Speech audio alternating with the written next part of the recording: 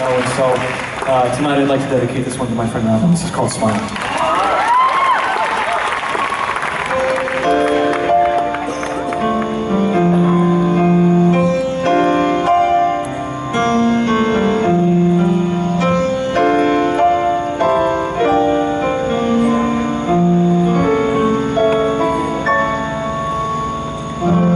Smile, though your heart is aching. Smile. When there are clouds in the sky, get.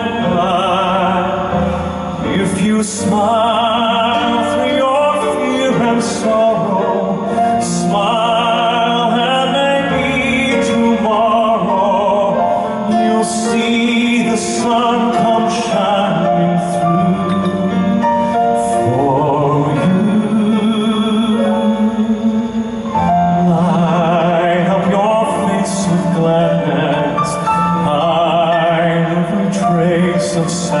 sadness.